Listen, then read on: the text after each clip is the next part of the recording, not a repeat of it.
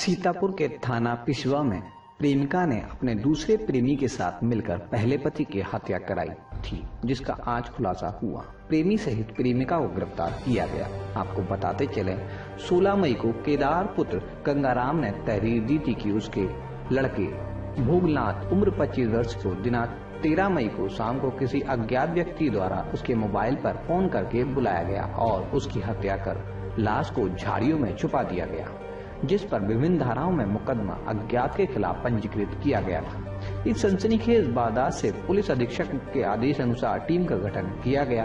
परिणाम स्वरूप surveillance cell से प्राप्त तकनीकी सहयोग एवं आर्थिक प्रयास से अभियुक्त अनस खान पुत्र नबी अहमद निवासी कस्बा गोपामाऊ थाना टंडेवा, जिला हरदोई व अभियुक्त कुमारी बिट्टू पुत्री भगवती लोहर निवासी शेर वहिया थाना पिसवा को गिरफ़्तार किया गया। अभियुक्त अनस के कब्जे से घटना में प्रयोग किया गया। मोबाइल फ़ोन बरामद भी हुआ।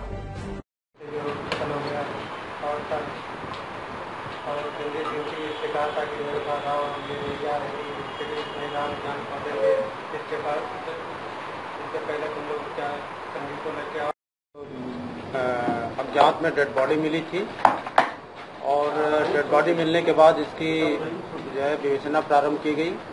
विवेचना से ये संज्ञान में आया कि मृतक का जो है उसी गाँव के एक लड़की बिट्टू से उसके संबंध थे।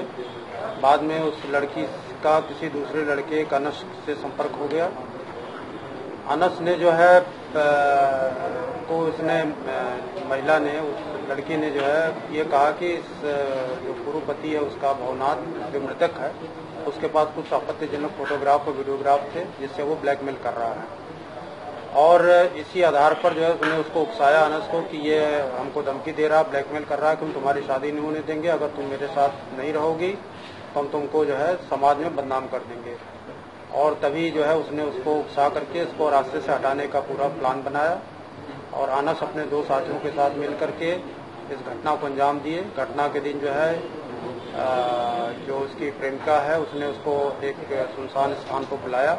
वहाँ पर जो है उसका जो वर्तमान का प्रेमी है अपने दो साथियों के साथ मौजूद था और उसको गमछे से उसका गला घोट करके वहाँ उसकी मृत्यु कारित करके किए इस पूरे घटना के खुलासे के लिए जो है इसमें मोबाइल की जो हमारी